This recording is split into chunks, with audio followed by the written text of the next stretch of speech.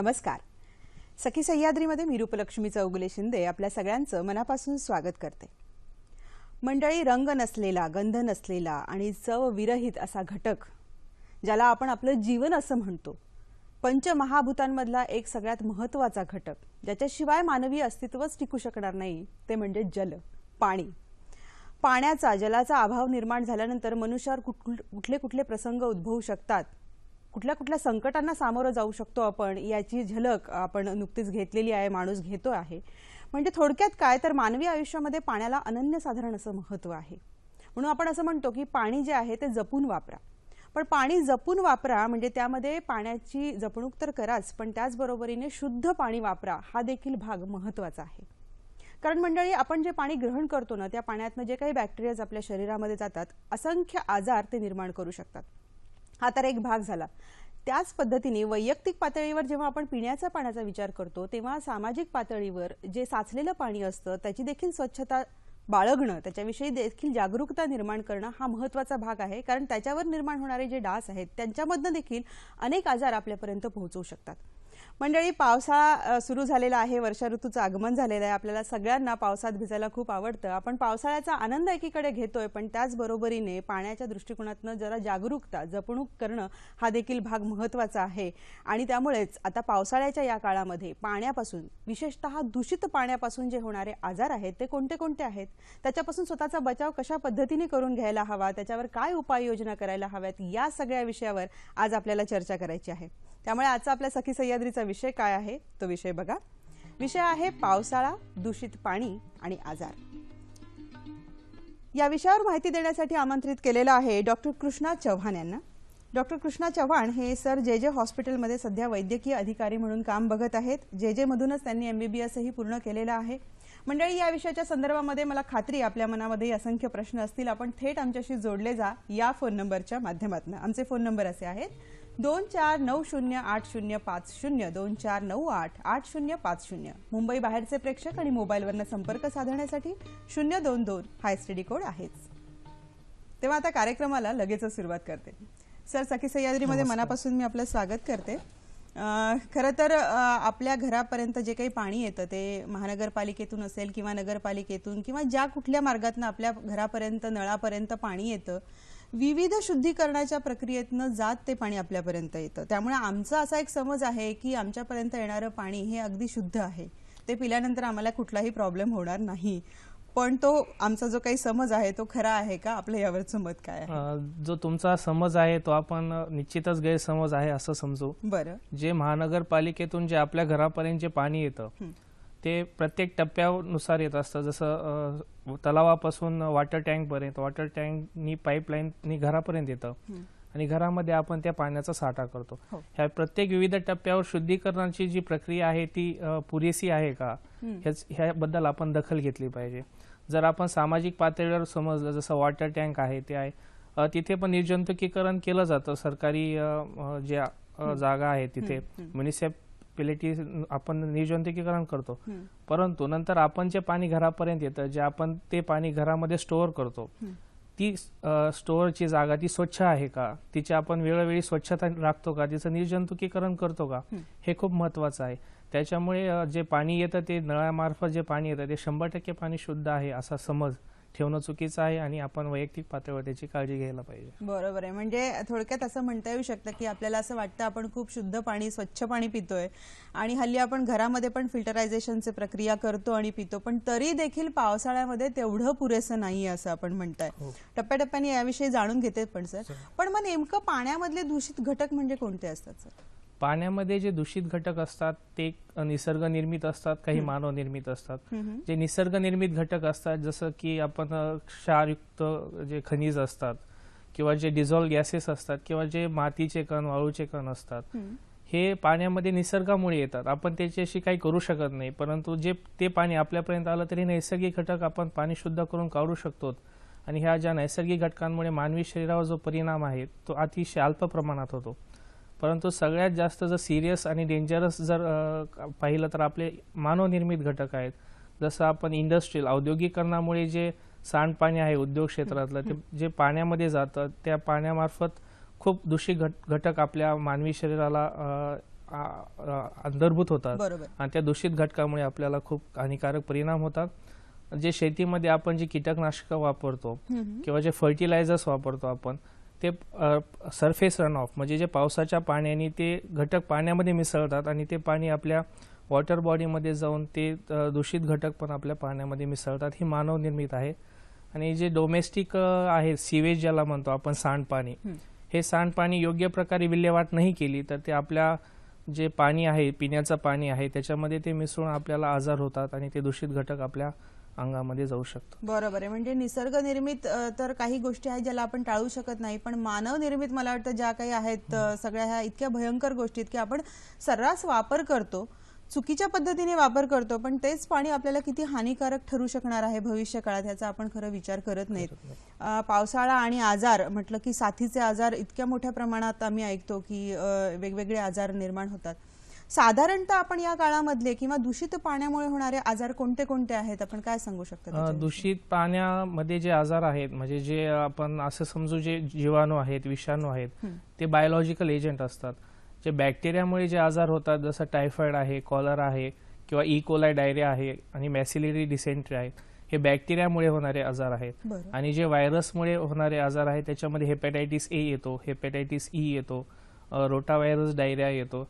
हे व्हायरसमुळे होणारे आजार आहेत आणि काही हेल्मेंथिक आणि प्रोटोझोल डिसीज असतात. जे आपण जे पोटात जंत होणे आपण ग्रामीण भागात असं पोटात जंत झाला जे हो, असं हो, म्हणतो हो. ते आजार पण आपल्याला दूषित पाण्यामुळे आपल्याला होऊ शकतात हे बायोलॉजिकल एजंट झाले आणि केमिकल एजंट जे आहेत म्हणजे सपोज इंडस्ट्रीयल वेस्ट आहे किंवा ॲग्रिकल्चरल वेस्ट आहे त्याच्यातून जे येणारे जे केमिकल एजंट आहेत त्याच्यामध्ये आपण प्रामुख्याने पाहिलं तर मर्क्युरी सायनाईड असे काही टॉक्झिक मेटल्स पण येऊ शकतात जे हेवी मेटल्स आपण त्याला म्हणतो किंवा काही सोलवंट असतात काही पिगमेंट्स असतात काही डाईज असतात. हे दूषित घटक आल्यामुळे आपल्याला श- मानवी शरीरात त्यांचं प्रमाण वाढल्यामुळे आपल्याला वेगवेगळे नर्वस सिस्टम आहे किंवा आपल्या सर्व सिस्टममध्ये कोणत्याही सिस्टममध्ये आपल्याला तो सिस्ट बिघाड होऊ शकतो म्हणजे तुम्हाला असं म्हणायचं सर की आपण आता जेव्हा वायू प्रदूषणाच्या बाबतीमध्ये बोलतो ना की हवेच्या माध्यमातून वेगवेगळे प्रदूषण जेव्हा आपल्या बॉडीवर इफेक्ट करत असतात वेगवेगळे आपल्याला कळत नाहीत पण आपल्या बॉडीमध्ये काय चेंजेस होतात तसं पाण्याच्या पण माध्यमातून आपल्या बॉडीमध्ये अनेक चेंजेस होत असतात असं म्हणायचं आहे? हो. कसं काय सांगाल त्याच्याविषयी सविस्तर माहिती द्या पाण्याच्या आत्ताच आपण यापूर्वी बोललो की पाण्यामधून आपल्या अंगात दूषित घटक जातात. त्याचप्रमाणे जे केमिकल्स आहेत. ते पण दूषित घटक आपल्या शरीरा- शरीरामध्ये गेल्यामुळे हं. शरीराच्या लिव्हर आहे किंवा किडनी किंवा जे ब्रेन आहे ते सिस्टम हॅम्पर होते त्या सिस्टमवर काही टॉक्झिक जे आहे जसे आपण लीड सपोज लीड आहे हो ते अतिशय घातक केमिकल आहे ज्या लीडमुळे आपल्याला मानवी शरीराचा त्रास होतोच. परंतु ज्या प्रेग्नंट महिला आहेत. त्यांच्या जी बाळाची ग्रोथ आहे. पोटामध्ये त्याच्यावर पण परिणाम होऊ शकतो. ह्या झाल्या केमिकल आणि बायोलॉजिकल गोष्टी म्हणजे काही अशी रसायने आहेत आपण जिथं ग्राउंड वॉटर यूज करतो. म्हणजे जिथे आपण बोरनी किंवा हापशानी पाणी पितो. जसं आपण ग्रामीण भागात हापसा असतो हो. किंवा बोर घरो- घरोघरी आज बोर असतील. त्याच्यामध्ये एक फ्लोराईड नावाचं जे असतं. खनिज असतं. ते जा- जास्त प्रमाणात झाल्यामुळे आपल्याला डेंटल फ्लोरासिस आणि स्केलेटल फ्लोरासिस असे आजार होऊ शकतात. बरं.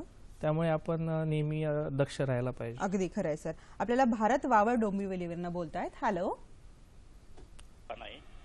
मॅडम माझा प्रश्न असा आहे की आपण पाहतो की साधारण प्रत्येक सोसायटीमध्ये असणारे पाणी अंडरग्राऊंड टाकीमधून टेरेसच्या टाकीमध्ये जाते आणि हे पाणी आपणास घरामध्ये पोहोचते. तर हे पाणी पिण्यासाठी शुद्ध असते का? आणि हे नसेल तर आपण कशा प्रकारे हे पाणी घरातल्या घरात शुद्ध करू शकतो? त्यामुळे आपण आ- आजारापासून दूर राहू शकतो. यावर आपण. कृपया प्रकाश टाकावा धन्यवाद. नक्कीच भारतजी. धन्यवाद. आपण चांगला प्रश्न विचारलेला आहे. आपल्या घरापर्यंत आपण जसं सुरुवात केली की आपल्या घरापर्यंत ज्या काही मार्गांनी पाणी येतं निरनिराळ्या मार्गातनं आपल्याला असं वाटतं की ते शुद्ध आहे पण ते शुद्ध खरं असतं का? तर आपलं उत्तर आपण सांगितलेलं आहे की ते तेवढं शुद्ध नसतं खरं पाहायला गेलं तर. तर आता ह्या गोष्टी आपण शुद्ध करणं हा जो महत्त्वाचा मुद्दा आहे तो कशा पद्धतीने आपण आपल्या स्वतःच्या वैयक्तिक पातळीवर आपण दक्षता घ्यायची म्हणजे नेमकं कशा पद्धतीने करायचं? वैयक्तिक पातळीवर जी घ्यायची दक्षता आहे ती सर्वात महत्वाची आहे. जे पाणी आपल्याला महानगरपालिकेतून येते यापूर्वी मी तुम्हाला म्हटलं की आपण जे ज्या ठिकाणी साठा करतो आपला स- हौद असेल किंवा वॉटर टँक असेल ती आपण नेहमी स्वच्छ ठेवलेली पाहिजे आपण तिचं वेळोवेळी स्वच्छता राखली पाहिजे. दुसरी गोष्ट आपण क्लोरिनेशन जो प्रकार आहे किंवा जे निर्जंतुकीकरण आहे ते आपण वेळोवेळी निर्जंतुकीकरण केलं पाहिजे जेणेकरून आपल्याला ते दूषित घटक आहे जे बायोलॉजिकल एजंट आहे ते आपल्या शरीरात जाणार नाहीत. आणखीन दुसऱ्या पुढं चालून म्हटलं तर आपण बॉइलिंग म्हणजे वाट पाणी उकळून पिणे ही सर्वात. महत्वाची गोष्ट आहे. आपण टायफॉइड असेल किंवा मलेरिया असेल आपण पेशंट टायफॉइड पेशंटला मोस्टली पावसाळ्यात सांगतो की पाणी उकळून प्या. तर पाणी उकळणं हे खूप महत्वाचं आहे. पाणी उकळण्यामुळे जे हाय टेम्परेचर तयार होतं त्या हाय टेम्परेचरमध्ये हे जीवाणू विषाणू आहे त्यांना अनफेवरेबल कंडिशन मिळून जाते. आणि त्या अनफेवरेबल कंडिशनमध्ये ते नाश पावतं. त्यामुळे आपण घरगुती जर म्हटलं तर आपण पाणी उकळून पिणे आपण पाण्यात जिथं साठा करतो त्याचं निर्जंतुकीकरण करणे आणि स्वच्छ राखणे हे आपण गोष्टी करू शकतो. मंडळी आपल्याला एक फोन आलेला आहे तो फोन आधी आपण घेऊयात. फोन आहे मंगला घोणके यांचा नाशिकवरनं. हॅलो. दोघांना नमस्कार. हा नमस्कार. अ, शहराचं स- सांडपाणी ड्रेनेज मधून जे सोडतात ह्याला नदीमध्ये ते जर ते आणि पुढच्या गावात जातून पुढच्या गावांना त्यातून परत आजार उद्भवू शकतात. तर कोणते कोणते आजार उद्भवू शकतात आणि ते टाळता येणार नाही का असं मला म्हणायचं नक्कीच you. मंगलाताई. खूप चांगला प्रश्न आहे. आपण जे म्हणतो ना की सांडपाणी नदीत सोडलं जातं किंवा पिण्याच्या पाण्याच्या स्रोतांमध्ये सोडलं जातं आणि मग तेच तीच नदी किंवा तेच पाणी पुढच्या गावाला प्रवाहित होतं आणि त्या लोक ते सगळे त्याचे बळी पडतात. हे सगळी ही जी प्रक्रिया आहे ही कुठेतरी थांबायलाच हवी आहे सर. पण त्याच्यासाठी काय करता येऊ शकतं? आणि त्यांचा स्पेसिफिकली प्रश्न होता की कोणते आजार याच्यामुळे उद्भवू शकतात आणि त्यावर काय उपाय करायला हवा? जे सांडपाणी आपण जे नदीमार्फत जातं तर वैयक्तिक लेव पातळीवर आणि सामाजिक पातळीवर आपण दक्षता घेतली पाहिजे. जी वैयक्तिक पातळीवर घ्यावायची दक्षता आहे ती की जे सांडपाणी आपण घरात तयार होतं ते सांडपाण्याची चांगल्यापणे विल्हेवाट करणे ते चांगल्या ड्रेनेजपासून नाली जे नाली आहेत ते तिथे जाणे हे महत्त्वाचं असतं. त्यासाठी आपण दक्षता घेतली पाहिजे. पहिली गोष्ट आणि आपण पाण्याचा अपव्यय टाळला पाहिजे. कारण की आपण जितकं पाणी वापरणार. तितकं सांडपाणी तयार होणार हो. आणि तितकं पाणी दूषित होणार. आणि ही हे सांडपाणी जर आपल्या नदीमध्ये जाऊन कुठे मिसळलं की जे जिथे आपली वॉटर बॉडी आहे आणि आपण ती पिण्यासाठी उपयोग करतो. तर ते सांडपाण्यातून जाणारे आजार जे आहेत ते आपण आधी टायफॉइड पाहू. बरं. टायफॉइड जो आजार आहे तो सांडपाणी म्हणजे ह्युमन एक्सरेटापासून सांड सांडपाण्यात जातो. आणि सांडपाण्यातून वॉटर बॉडीमध्ये जातो आणि त्यामुळे आपल्याला मानवी शरीराला तो आजार जडला जातो. तसेच कॉलरा आहे. हे दोन आजार प्रामुख्याने आपल्याला होऊ शकतात. बरं. तसेच ई कोलाय डायरिया आहे आणि जे ई कोलाय डायरिया आणि बॅसिलरी डिसेंट्री हे दोन आजार आहेत. हो हो. ते पण आपल्याला सांडपाण्यामार्फत नदीमध्ये जाऊन मानवी शरीरात हो- होऊ शकतात बरं. सर प्रामुख्याने पावसाळ्याच्या दिवसामध्ये कोणता आजार जास्त प्रमाणात आपल्याला दिसून येतो? काय सांगता प्रामुख्याने आत्ताच तुम्हाला म्हटल्याप्रमाणे मलेरिया टायफॉइड कॉलरा हे. आजार प्रामुख्याने आढळले जातात. मलेरिया ची संख्या रुग्णांची संख्या ही पावसाळ्यात वाढण्याचं कारण असं की जे मलेरियाचा जो डास आहे. त्याला पावसाळ्यामध्ये फेवरेबल कंडिशन भेटतात. कमी तापमान मिळतं. वॉटर जिथे साचलेलं पाण्याची शक्यता जास्त असते त्यामुळे डासांचा तिथे प्रादुर संख्या वाढते. आणि ते डासांची संख्या वाढल्यामुळे मग ते डास जर आपल्या माणसाकडे आले तर ते आजार घेऊनच येतात ते. आजाराला आमंत्रण बरोबर बरोबर आहे सर याविषयी माहिती घेणार आहोत पर्टिक्युलरली मलेरिया सारखा जो आजार आहे त्याची लक्षणं कोणती आहेत आणि त्याच्यावर मग त्वरित काय उपचार करायला हवे तुमच्याकडनं माहिती घेते सर. माधवी जोशी ठाण्यावरनं बोलतायत. ते काय म्हणतात आधी बघूयात. हॅलो. हा. हॅलो. हा. मी ठाण्याहून बोलतेय. हा. माधवी जोशी बोलतेय. बोला. हा. मला असं प्रश्न विचारायचा आहे की आपल्या शहरामध्ये सोसायट्यांमध्ये खाली टाक्या बांधतात आणि तेच टाकीतलं पाणी आपलं वरती जातं. तर आता पावसाळ्यामध्ये सुद्धा दूषित पाणी येतं आणि आपण सगळेजण म्हणतात की हे की शिळं पाणी होत नाही. तर आपण दोन दोन दिवस पाणी भरून ठेवतो घरामध्ये. हो. तर ते त्याची स्वच्छता म्हणजे त्याचं दूषितपणा कसा घालवता येईल आपल्याला? तुरटी वगैरे आम्ही लावतो उकळतो पण तरी सुद्धा त्याचा रंग बदलत नाही. तर त्याच्यावरती उपाययोजना काय करता येईल? धन्यवाद. धन्यवाद माधवीताई. आपल्याला मगाशी पण एक प्रश्न आला होता की अंडरग्राऊंड टाकीतनं वर सोसायटीमध्ये पाणी जातं ते पाणी आपल्याकडे येतं. पण त्याचा रंग जो असतो तो रंगही बऱ्यापैकी आपल्याला गढूळ दिसतो. तुरटी हा फार पारंपरिक आपल्याकडचा प्रकार आहे की ज्याच्या माध्यमातून आपण पाणी शुद्ध करतो. आता तुम्ही बॉइलिंग सांगितलं सगळ्यात सेफेस्ट आहे. तरी देखील रंग जो आहे त्यांचं म्हणणं आहे की तो पाण्याचा बदलत नाहीत आणि ते एवढं सगळं केल्यानंतरही ते पाणी सेफ आहे. आम्ही कसं समजायचं? जनरली पाणी जे जल आहे ते रंगहीन आहे कलरलेस आहे. पाण्याला कोणताच रंग नसतो. आपण तुम्हाला यापूर्वी म्हटलं की जी वॉटर टँक आहे तुमची तिची स्वच्छता करा वेगवेगळे निर्जंतुकीकरणाचे जे रसायने आहेत त्यांचा वापर करा. हो. आणि ते पाणी घरात आल्यानंतर आपण तुम्ही जो तुरटीचा उपयोग करतो किंवा आपण जो उकळून पाणी पितो किंवा आपण क्लोरीन टाकून जे मार्केटमध्ये क्लोरीन सोल्युशन असतं त्याचे काही थेंब टाकून ते पाणी केमिकली पण शुद्ध करू शकतो. पण त्यांचा एक थोडासा डिस्टर्ब करते सरमध्ये. त्यांचा जो प्रश्न होता ना त्याच्यामध्ये त्यांनी स्पेसिफिकली असं सांगितलं की पाणी मध्यंतरी आपण बघितलं की खूपच कमी होतं. त्याच्यामुळे दोन दोन दिवस पाणी साठवून ठेवणं हा प्रकारही होता. मग त्या पाण्याला एक प्रकारचा एक अ, शिळ्या पाण्याला एक प्रकारचा वास वगैरे येतो. मग ते ते आपण ओळखायचं का अशा वेळी की हे पाणी शुद्ध नाहीये किंवा अशुद्ध झालेलं आहे? पाणी साठवलं जास्त दिवस साठवलं तर त्याच्यामध्ये जे जंतू असतात जे बायोलॉजिकल ऑर्गॅनिझम असतात हम्म, त्यांची वाढ होते. जसं आपण पाहू शकतो की शेवाळते असतात ते साठलेल्या पाण्यापाशी असतात. आणि त्याच्यामुळे ते जैविक विघटन होतं. त्यांचं आणि त्यांची पॉप्युलेशन वाढून मग पाण्याला तो वास येणं किंवा रंग येणं हो. हे ते सूक्ष्मजीव यांची वाढ झाल्यामुळे होते. आणि सूक्ष्मजीव यांची वाढ हे पाणी साठवल्यामुळे खूप होते.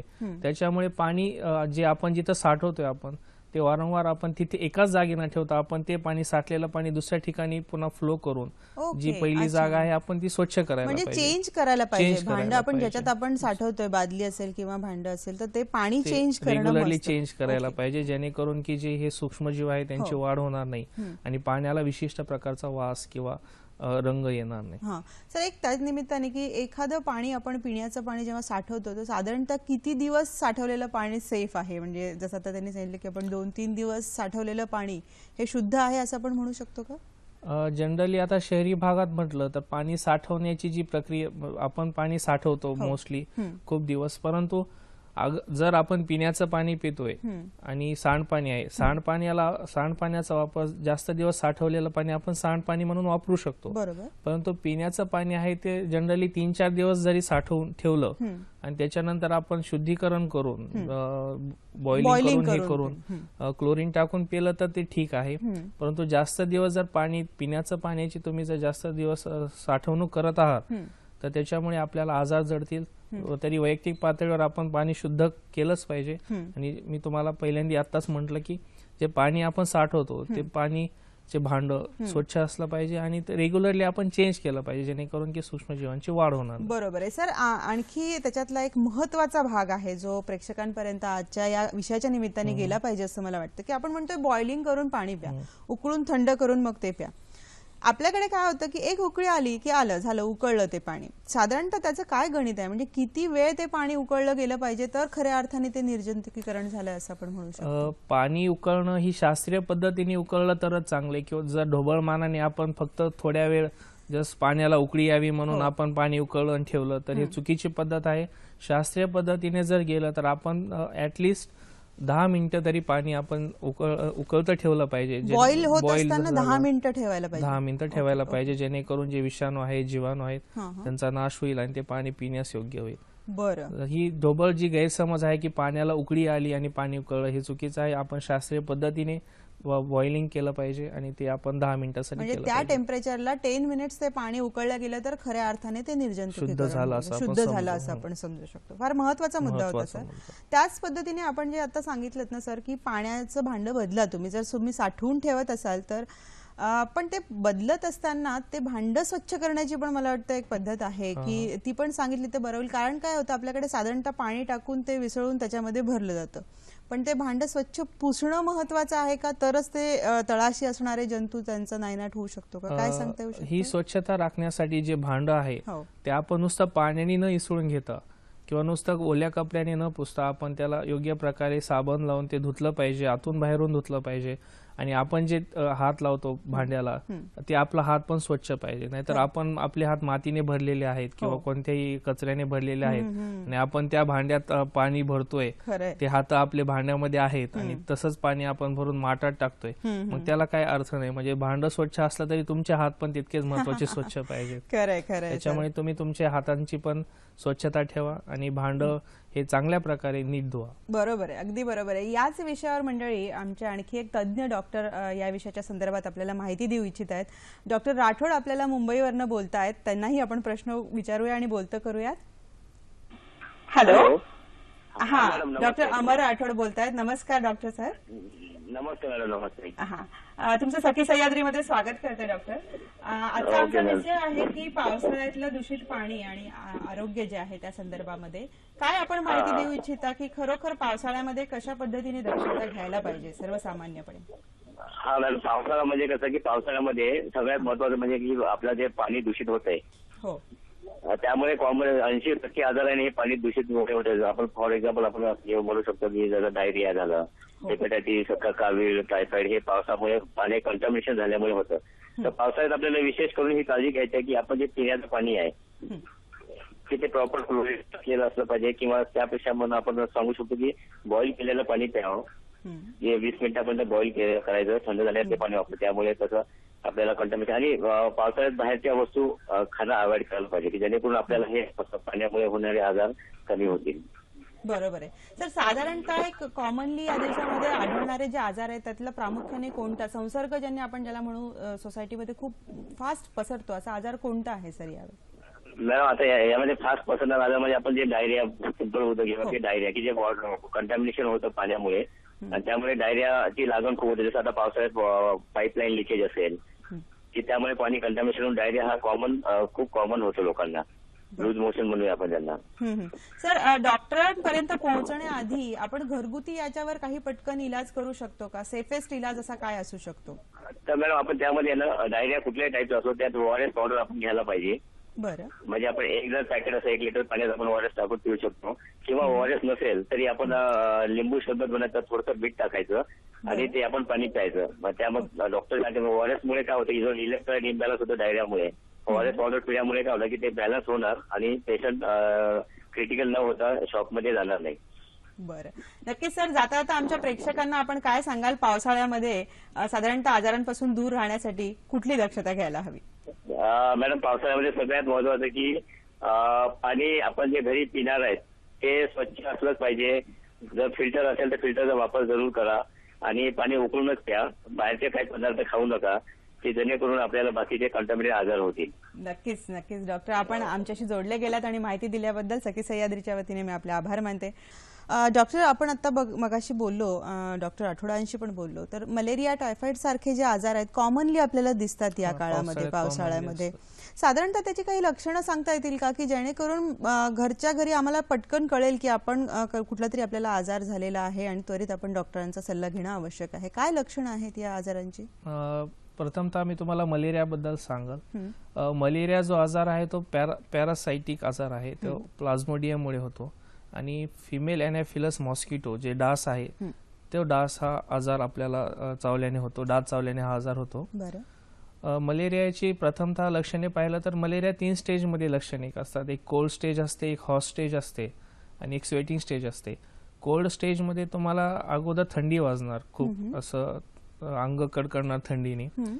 ते झाल्यानंतर हॉट स्टेज येते. हॉट स्टेजमध्ये तुम्हाला फिवर येणार. शरीराचं टेम्परेचर जास्त होणार. आणि त्याच्यामुळे हेडॅक किंवा स्नायू दुखणे. हे विविध गोष्टी होऊ शकतात. आणि जी स्वेटिंग स्टेज आहे जेणेकरून आपल्या शरीरात घाम येऊन जातो आणि आपलं तापमान कमी होऊन जातो म्हणजे अशी सायकल कंटिन्यू चालू राहत म्हणजे आधी थंडी वाजते मग नंतर खूप गरम होतं घाम येतो अशा ताप पद्धतीने वाढते आणि पुन्हा. घाम येणे बरोबर. अशी जी सायकल आहे ती कंटिन्यू असते जर तुम्हाला ताप आली आणि ताप सोबत थंडी आहे. तर तुम्हाला समजा की मलेरिया आहे असं आप समजून तुम्ही होण्याची शक्यता आहे असं हा. शक्यता आहे. असं समजून नजीकच्या रुग्णालयात जायला पाहिजे. अ, नजीकच्या रुग्णालयात गेल्यानंतर तुम्हाला एक टेस्ट आहे. P S for M P असं म्हणतो आपण. बरं. मलेरियल पॅरासाईटसाठी आपण टेस्ट करतो. हा हा. ती टेस्ट केल्याने आपल्याला मलेरिया आहे का नाही हे लगेच समजू शकतो. बरं नक्कीच. याच्याविषयी माहिती घेते सर. उमा महाजन गोरेगावरून आपल्याला बोलतायत. हॅलो हॅलो हा नमस्कार. नमस्कार. माहिती की पिण्याचे पाणी कुठल्या धातूच्या भांड्यात साठवून ठेवावं? पितळेच्या त्या स्टीलच्या त्या तांब्याच्या. आणखी नाही प्लास्टिकच्या जे पाणी बाटलं असतात ते बॉटलमध्ये पाणी भरून ठेवलेलं वापरावं का? आणि बाजारात मिळत असलेले प्लास्टिकच्या बंद बाटली असतात त्या ते पाणी पिणं कितपत योग्य आहे? आणि प्युरिफायर असतात बाजारात मिळणारे प्युरिफायर त्यातून होणारे कितपत शुद्ध होतं पाणी? नक्कीच नक्कीच. उमाजी तिन्ही प्रश्न खूप महत्त्वाचे मला वाटतं त्यांचा जो प्युरिफायरचा जो प्रश्न आहे त्याच्यावर आपण तसं बोललेलो आहोत. पुन्हा काय सांगता येऊ शकतं की बाजारातले जे प्युरिफायर आहेत हे किती सेफ आहे त्यातलं पाणी? जे बाटलीतलं पाणी येतं बाजारामध्ये जे आपण पाहतो मिनरल मिनरल वॉटर ते शंभर टक्के शुद्ध आहे असं आपण म्हणू शकत नाही. जरी आपल्याला कितीही हमी दिली. की जे फिल्टर वॉटर केलं की शंभर टक्के शुद्ध होतं असं शंभर टक्के शुद्ध पाणी आपल्याला मिळत नाही. त्यामुळे आपण शक्यतो हे पाणी जे आहे ते आपण ज्यावेळेस ट्रॅव्हलिंग करतो किंवा ज्यावेळेस अशी गोष्ट येते की आपल्याला पाणी वापरता येत नाही घरचं. तेव्हा आपण हे तात्पुरत्या म्हणजे टेंपररी बेसिसवर आपण हे पाणी वापरू शकतो पर्याय नाही तेव्हा तुम्ही वापरा पण. एरवी नको एरवी नको आणि दुसरी गोष्ट म्हणजे जे आपण सार्वजनिक ठिकाणी जातो. हो. सार्वजनिक ठिकाणी गेल्यानंतर आपण उघड्यावरचं पाणी प्यायला नाही पाहिजे. उघड्यावरचं पाणी पिण्यापेक्षा कम्पॅरेटिव्हली आपण जे बिस्लरीचं पाणी आहे ते पिलेलं चांगलं राहील. अच्छा अच्छा. म्हणजे उघड्यावरचं पाणी पिण्यापेक्षा तुलनेत तुम्ही मिनरल वॉटर प्या. असं. सल्ला देताय. हा. पण एरवी जर तुम्हाला पर्याय उपलब्ध आहे तुम्ही घरी आहात तर घरचं व्यवस्थित उकळलेलं पाणी पिलेलं सेफ किंवा आपण स्वतः आपल्या डोळ्यांनी निर्जंतुकीकरण केलेलं केलेलं पाणी. कारण की आपल्याला ती हमी असते. बरं सर आणखी एक त्यांचा एक मुद्दा होता की तांब्याच्या पितळेचे का किंवा स्टीलच्या कुठल्या धातूमध्ये पाणी साठवून ठेवायला हवं? आपण जर पाहिलं तर आपण स्टीलच्या भांड्यामध्ये पाणी साठवलेलं चांगलं राहील. बरं. आणि जे प्लास्टिकचं पण ते विचार त्यांनी हो, आता हो. मुद्दा काढला. प्लास्टिकच्या बॉटलमध्ये पण आपण पाणी साठवून ठेवू शकता. परंतु मी तुम्हाला अगोदरच म्हणलं की त्या भांड्याची स्वच्छता किती आहे त्यावर ते पाणी दूषित आहे का नाही ते अवलंबून आहे. जर तुम्ही भांड वेळोवेळी चांगल्या केमिकलने घासलं. स्वच्छ केलं तर निश्चितच पाणी शुद्ध त्यामध्ये सेफ राहील. आणि नंतर ते पाणी आपण उकळून पेलेलं बरं राहील. बरोबर. म्हणजे तुम्ही म्हणताय की धातू कुठला आहे कुठलं कुठल्या धातूचं भांड आहे हे महत्वाचं नाहीये पण भांड स्वच्छ असणं हा पॉइंट सगळ्यात महत्त्वाचा आणि धातू जरी म्हटलं तरी आपण तांब्याच्या भांड्यात ठेवण्यापेक्षा आपण स्टीलच्या भांड्यातच ठेवावं. बरं. कारण की तांब्याचं भांड तसं म्हटलं तरी काही केमिकल रिॲक्शन होतात. त्यापेक्षा स्टीलमध्ये ठेवलेलं आपल्याला जास्त सेफ राहील. बरं. सर तुरटी जी आपण वापरतो ती खऱ्या अर्थाने सेफ आहे का पूर्णपणे? तुरटी जे म्हणजे आपण फक्त केवळ तुरटीने आपण पाणी शुद्ध होऊ शकतं का? असं मला विचारायचं तुरटी वापरणं हे ग्रामीण भागात खूप मोठ्या प्रमाणात केलं जातं. आपण तुरटीनी अ, पाण्यामध्ये माटामध्ये फिरवतात ते तुरटी पण ती जास्त वेळ नसते आणि तिची जी ऍक्शन आहे ती जास्त वेळ नसते आणि ती एवढी स्ट्रॉंग नसते. त्यामुळे तुरटी फिरवण्यापेक्षा किंवा बाकी गोष्टी करण्यापेक्षा आपण एक स्टेप बाय स्टेप म्हणजे जसं पाणी आपण माठात टाकतो तर आपण ते गाळून टाकलं पाहिजे. आणि जेव्हा आपण ते प्यायला घेतोय तेव्हा आपण ते उकळून घ्यायला पाहिजे. तसंच मार्केटमध्ये क्लोरीन आपल्याला जे सोल्युशन मिळतं त्यांचे काही थेंब टाकल्यावर पाणी शुद्धीकरण होतं. म्हणजे तुरटी अवलंबण्यापेक्षा जे शास्त्रीय आहे आणि जे आपल्याला शास्त्रीय पद्धतीने आपण वापरू शकतो आणि ज्याची हमी देता येते आपल्याला ते गाळणे किंवा उकळणे ह्या गोष्टी केल्या पाहिजे क्लोरीनचं प्रमाण थोडं कमी जास्त झालं तर ते सेफ असतं का? क्लोरीनचं प्रमाण जास्त झालं तर ते सेफ नसतं निश्चितच. क्लोरीनचं प्रमाण जसं आपण सायंटिफिकली बघितलं तर वन मिलीग्रॅम पर डिसिलिटर पाहिजे. पण ते डिपेंड आहे की पाण्याचा साठा किती आहे. आणि पाणी आपण किती प्रमाणात शुद्ध आहे. तर त्यामुळे क्लोरीनच्या जास्त प्रमाणात आपण क्लोरीन घेतलं नाही पाहिजे त्यासाठी आपण एक क्वालिफाईड पर्सन आहे आपल्या एरियातला त्याच्याशी आपण डिस्कशन करून किंवा जे डॉक्टर आहे क्लोरीन वापरण्यापूर्वी त्याचे तज्ञ कडनं माहिती करून घेणं माहिती करून घेणं फार वापरणं त्याशिवाय डेंजरस आहे आणि क्लोरीनचं अतिप्रमाण पण चांगलं नाही त्यामुळे शरीराला पण हानी पोहोचू शकते. नक्कीच नक्कीच. आपण खाद्यपदार्थांचा पावसाळ्यातला उल्लेख मगाशी केला गेला होता की बाहेरच्या खाद्यपदार्थांमुळे देखील बरेच आजार उद्भवू शकतात. तसंच बाहेर काही ज्यूस किंवा अशा पद्धतीचे जे पेय पदार्थ या दिवसांमध्ये जे पिले जातात त्यांची आपण काही गॅरंटी देऊ शकत नाही सर तर त्याबद्दल आपण काय मार्गदर्शन करेल? आता पावसाळ्यात पाऊस पडला की आपल्याला चहा पिण्याचा मोह जो आहे तो होतो. त्यामुळे आपण बाहेर गेल्यानंतर जे टी स्टॉल असेल किंवा ज्या ठिकाणी आपल्याला ज्यूस मिळतो हो. तिथे स्वच्छता किती प्रमाणात मेंटेन केलेली आहे? त्या स्टॉलमध्ये स्वच्छता किती आहे? तो ज्या भांड्यात चहा बनवतो जो पाणी वापरतो ते कुठं साठवलेलं आहे? ते पाणी कुठून येतं? आणि त्याची त्याच्यावर तो काही प्रक्रिया करतो का? तो काही केमिकल ट्रीटमेंट करतो का? आणि हे सर्व करून तो स्वतः पर्सनल हायजीन किती आहे? हे खूप महत्वाचं ठरतं. तर आपण त्याची दखल घेतली पाहिजे. आणि पावसाळ्यात जर आपण बाहेर जातोच आहे ज्यूस प्यायला चहा प्यायला तर ह्या गोष्टी आपण प्रामुख्याने पाहायला पाहिजे. आणि मगच आपण ते बरोबर. सर आता काही काही. ठिकाणी पर्याय नसतो. त्यामुळे मला वाटतं कधी कधी आपण ऍडजस्ट करतो आणि ती सवय आपल्याला लागलेली असावी. पण इथे मला आता स्पेसिफिकली तुम्हाला प्रेग्नंट लेडी बद्दल विचारायचं आहे की प्रेग्नंट वुमननी पावसाळ्यामध्ये स्पेसिफिकली एक पाण्याची काळजी आणि दक्षता म्हणजे हीच दक्षता घ्यायला पाहिजे की आणखी काही वेगळं करायला हवं? प्रेग्नंट वुमेन म्हणजे मध्ये त्यांनी दक्षता जी घ्यायला पाहिजे पाण्याची ती खूप तिच्यावर खूप प्रामुख्याने लक्ष द्यायला पाहिजे. पाणी उकळून पिणे किंवा पाण्याची योग्य प्रकारे ट्रीटमेंट करून ते पाणी आपण त्यांनी प्यायला पाहिजे. कारण मलेरिया किंवा बाकीचे जे दूषित घटक आहेत हो. जसे लीड म्हणू आपण हे दूषित घटक किंवा मलेरिया आजार झाल्यामुळे प्रेग्नंट ओमेन सोबत म्हणजे महिलासोबत त्या तिच्या पोटातल्या बाळावर पण परिणाम होऊ शकतो. त्याचप्रमाणे जो बाकीचे जे दूषित घटक आहेत ते आपल्या ओमेन मार्फत रक्त रक्तामार्फत ते लहान मुलांपर्यंत जाऊ शकतात आणि. त्याची वाढ कमी होणे. किंवा त्याला ग्रोथ डिस्टर्बन्स जे आपण म्हणू शकतो ते होऊ शक्यता वाढू शकते त्याच्यामुळे. प्रेग्नेंट वुमननी जरा जास्त दक्षता घेणं आवश्यक. आणखीन एक आजार आहे जो हेपॅटायटिस ई आजार आहे हो हो. जो आपण म्हटलं की ते बॅक्टेरियामुळे होतो दूषित पाणी. तर तो आजार प्रेग्नंट लेडीमध्ये झाला तर तो खूप हानिकारक आहे. त्यामुळे मुलां जे डेव्हलपमेंट आहे त्याच्यावर तर ग्रोथ येऊन डेथ होण्याचे चान्सेस खूप आहेत. बरं. त्याच्यामुळे हेपॅटायटिस ई हा आजार जो होतो. तो दूषित पाण्यामुळे होतो त्यामुळे आपण पिण्याची स्वच्छता केली पाहिजे पाण्याची स्वच्छता केली पाहिजे शुद्ध केलं पाहिजे. आता हा मलेरिया होऊ नये यासाठी काय दक्षता घ्यायला हवी आणि झाल्यानंतर उपचार कुठले घ्यायला हवेत? मलेरिया होऊ नये यासाठी आपण वैयक्तिक पातळीवर दक्षता घेणं महत्वाचं ठरतं. जसं की पावसाळ्यामध्ये जे आपल्या घराभोवताली किंवा सोसायटीमध्ये जे पाण्याचे डबके तयार होतात ते डबके आपण तयार होऊ नाही दिले पाहिजेत. जिथे जिथे आपल्याला मलेरियाच्या केसेस आढळल्या समजा आपल्या सोसायटीमध्ये जास्त मलेरियाच्या केसेस आढळल्या की लगेच आपण जाऊन पब्लिक हेल्थ डिपार्टमेंटशी जे अधिकारी आहे मलेरियाचा अधिकारी असतो त्याला जाऊन आपण संपर्क साधायला पाहिजे आणि लोकल कम्युनिटीच्या डॉक्टरला पण आपण जाऊन भेटलं पाहिजे. हे झालं वैयक्तिक ह्याला त्याचप्रमाणे आपण मॉस्किटो जे नेट असतात हो. म्हणजे मच्छरदाणी असते हो. रात्री झोपताना तिचा वापर केला पाहिजे. मलेरियाचा जो डास आहे. तो आपल्याला रात्री प्रामुख्याने तो रात्री चावतो. अच्छा म्हणजे जसं डेंग्यूचा असं म्हणतात की दिवसा चावतो तसं मलेरियाचा हा प्रामुख्याने रात्री चावतो? फक्त डेंग्यूचाच डास दिवसा चावतो बाकी सगळे आजार जे डासांमार्फत होतात त्यातले त्यात प्रामुख्याने मलेरियाचा डास हा रात्री चावतो.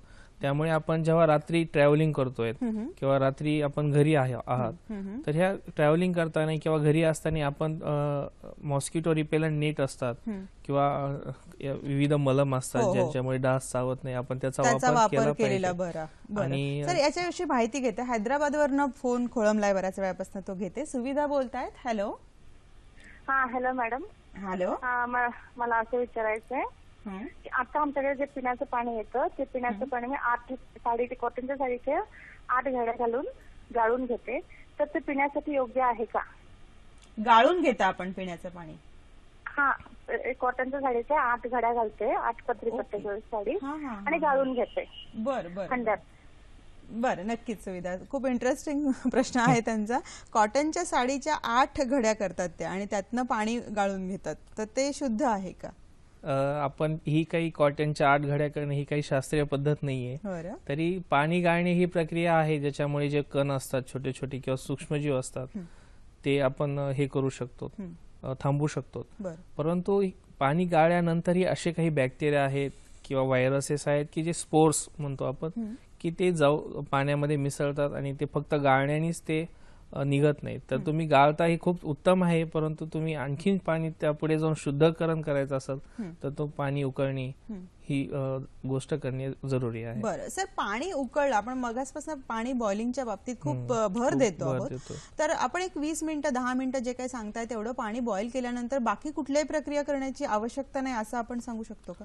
हा आपण असं समजू शकतो की घरगुती जी आपण पद्धत आहे जी पाणी उकळण्याची पद्धत आहे आपण दहा ते वीस मिनिट हा जो टाइम स्पॅन आहे ह्याच्यामध्ये पाणी उकळलं तर जे दूषित पाण्यामुळे होणारे जे आजार आहेत ते बऱ्यापैकी ते विषाणू असतील जीवाणू असतील नष्ट होणार. नष्ट होतात तर संपूर्णपणे त्यांचा नाश होतो. त्याच्यामुळे पाणी उकळणं ही शास्त्रीय पद्धत आपण सोपी आहे आणि आपण घरी ती सहज अवलंबू शकतो कम्पॅरेटिव्हली ती सगळ्यात सेफ आहे. करेक्ट करेक्ट आपण मलेरियाच्या संदर्भामध्ये सांगत होता. तसंच टायफॉइडच्या पण संदर्भामध्ये आम्हाला माहिती द्यावी. मलेरियाच्या संदर्भात आपण काय सांगत होता सर मलेरियाच्या संदर्भात मी तुम्हाला सांगितलं की आपण लक्षणे सांगितली इन्व्हेस्टिगेशन सांगितलं. हो. आता पुढे जाऊन आपण रात्री डास चावतात. हो. तर त्यासाठी आपण ट्रॅव्हलिंग करताना जसं ट्रेनमध्ये आहे बसमध्ये आहे आपण डास चावू नये म्हणून मलम जे असतं त्याचा हो. वापर केला पाहिजे. घरी असल्यास आपण मॉस्किटो रिपेलंट नेट असतात. किंवा काही इन्सेक्टिसाइड्स असतात. जसं की डीडीटीचा वापर केला जातो मॅलेथिऑन असे केमिकल असतात. पब्लिक हेल्थ डिपार्टमेंटकडून पण आपल्याकडे फवारणी जी धूर मारला हो, जातो. हो. तो डासांचा धूर हे डास अ, वाढवू नये म्हणून तो धूर केला जातो. हे वेगवेगळ्या पद्धतीचे उपाय आपण करू या बाबतीत आपण दक्ष राहणं महत्वाचं दक्ष राहणं महत्वाचं आहे. सर पोट बिघडणे कॉलरा वगैरे सारखे जे आहेत हे कॉमनली दिसतात. तसंच डोळ्यांचे पण आजार आपल्याला या दिवसांमध्ये पावसाळ्याच्या दिवसांमध्ये स्पेसिफिकली दिसून येतात. तर त्या संदर्भामध्ये काय सांगता येऊ शकतं? पावसाळ्यामध्ये कसं असतं की आपण भिजतो किंवा पाण्यामध्ये खेळायला जातो. त्याच्यामुळे आपली जी स्किन आहे आणि जे डोळे किंवा नाक असेल किंवा जे अवयव आहेत. ते पाण्याच्या संपर्कात येतात. आणि नक्कीच पाणी साठलेलं पाणी हे दूषित असतं. गढूळ पाण्यात जर आपण असा खेळण्याचा आनंद जर घेतोयच हो. तर त्याचे काही आजार पण आहेत. जसे की आपण म्हटलं की दूषित सपोज आपण पाणी डोळ्यांवर जाते किंवा नाकाकडे जाते किंवा कानाकडे जाते त्यामुळे आपल्याला फंगल आणि बॅक्टेरियल इन्फेक्शन होतात. डोळ्या स्वच्छ पाण्याच्या अभावामुळे आपल्या डोळ्याचे जसं कॉन्जक्टिव्हायटिस. आणि ट्रॅकोमा असे आजार होऊ शकतात. जे की आपण स्वच्छतेचा अभाव आहे पाण्यात. असं. सर पहिल्या पावसात भिजणं किती सेफ आहे? जरा मुलांच्या दृष्टिकोनातनं याही प्रश्नाचं उत्तर घेते. पण पहिल्यांदा आपल्याला औरंगाबादवरनं फोन आलेला आहे तो फोन घेते. विद्या बोलतायत. विद्या वैद्य. हॅलो हा नमस्कार मॅडम. नमस्कार. मी औरंगाबादून बोलतेय विद्या वैद्य. हा. आणि माझा प्रश्न असा आहे की सोडियम हायड्रोक्लोराईड सोल्युशन म्हणून एक लिक्विड आहे तर ते पाण्यामध्ये वापरणं योग्य आहे का नेहमी? बरं. काय सांगता येऊ शकतं सर? अशा पद्धतीचं लिक्विड काही पाण्यामधनं वापरणं योग्य? आहे सोडियम हायड्रोक्लोराईड अशा प्रकारचं केमिकलने आपण पाणी शुद्ध काही करत नाहीये. पहिली गोष्ट म्हणजे. आपण क्लोरीनचा वापर करतो. परंतु काही काही वेळेस कसं होतं आपण एनएसीएल हे क्लोरीन त्याच्यामध्ये आहे. हां. तर त्यामुळे क्लोरीनचा तो वापर केल्यामुळे आपलं पाणी शुद्ध होऊ शकतं. सोडियम हायड्रोक्लोराईड जे क्लोरीन असतं त्याच्यामुळे आपलं पाणी शुद्ध होऊ शकतं. पण ते योग्य प्रमाणात आणि तज्ञाचा सल्ला घेऊनच आपण वापरलं पाहिजे. नक्कीच. पहिल्या पावसाचं पाणी हे मुलं खेळतात तर आनंद लुटतात. खरं सेफ आहे का? नाहीये असं काही जण म्हणतात. आपलं मत काय पा तसं पा पावसाच्या पाण्यात खेळणं किंवा घडोळ पाण्यात खेळणं हे नक्कीच सेफ नाहीये. परंतु जर लहान मुलं असतील तर त्यांचा खेळण्याचा आनंद असेल आणि त्यांना त्यांचा आनंद पूर्ण करायचा असेल. तर तुम्ही जाऊन स्वच्छ पाण्याचे जिथे सा साचलेले तिथं जाऊन खेळू शकता. किंवा जे चालू पावसामध्ये खेळू शकता पण बरं. गडोळ पाण्यात जाऊन खेळणं किंवा जे नाल्यात नालीतलं पाणी मिस हो. मिसळलेलं आहे. किंवा जे मा- मानवी विष्ठा ज्याच्यात ज्या पाण्यात जाऊन मिसळते.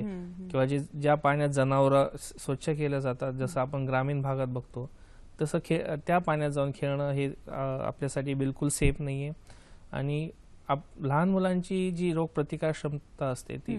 नॅचर नैसर्गिकतः कमी असते. बरं बरं. त्याच्यामुळे तुम्ही हे पण लक्ष घ्यायला पाहिजे की आपण किती वेळ खेळतोय.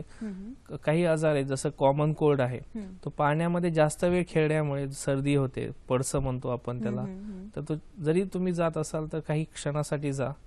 असं पूर्ण जास्त टायमिंगसाठी नका जाऊ. त्याच्यामुळे काय होईल की कॉमन कोल्ड सारखे आजार तुम्हाला होतील. त्यामुळे रोगप्रतिकार क्षमती शक्ती रोगप्रतिकार शक्ती आणि किती वेळ तुम्ही पाण्यात खेळतात यावर अवलंबून आहे कुठल्या पाण्यात खेळता हे सगळ्यात महत्वाचं आहे कारण हे पूर्णतः तुम्ही बॅन नाही. करू शकत सर पूर्ण. मुलांना कदाचित ते आवडणार नाही नाही पण आपण आता तुम्ही जो मुलांचा विषय काढला तर खरोखर हे पावसाळ्यातले जे काही विविध आजार आहेत हे वयोमानानुसार त्याचे इफेक्ट जे आहेत ते वेगळे वेगळे होतात? हा निश्चितच पावसाळ्यांचे जे आजार आहे ते वयोमानानुसार त्यांच्यामध्ये जे बदल आहे ह्याचं कारण की रोगप्रतिकार शक्ती जी बदलणारी बर असते. बर हं. जे लहान मुलांमध्ये असेल किंवा तुम्ही वयोवृद्ध असतील जे घरचे असतील त्यांच्यामधली रोगप्रतिकार शक्ती ही कमी असते. हो. आणि जसं पाहिलं की आपण जे युथ आहे जे तरुण वर्ग आहे त्यांची रोगप्रतिकार शक्ती जास्त असते.